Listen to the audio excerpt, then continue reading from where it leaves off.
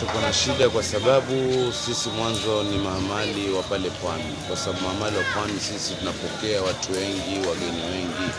Kwa hivyo pia tumekosa imani, kwa sababu pia tunaweza kupambana na mgeni ambaye anaingia na kawa hujui kwamba ana korona na ukamsaidia mizigo yake, ukaweza kumsaidia yeye na kupeleka mizigo, kumbe akona korona, ukapata kuambukika. Kwa hivyo sisi tunaonekana kwamba tunaweza umia sana kusima maamali ambapo ni jobless. Hatuna kazi ya kufanya, kazi yetu ni mpaka tubebe ndio tupate kukula na watoto wetu wakule, na maisha yetu ni hapo pwani ya kupokea wageni wa kuingia na wa kutoka. Kwa hivyo kuathirika kwetu sisi ni rahisi.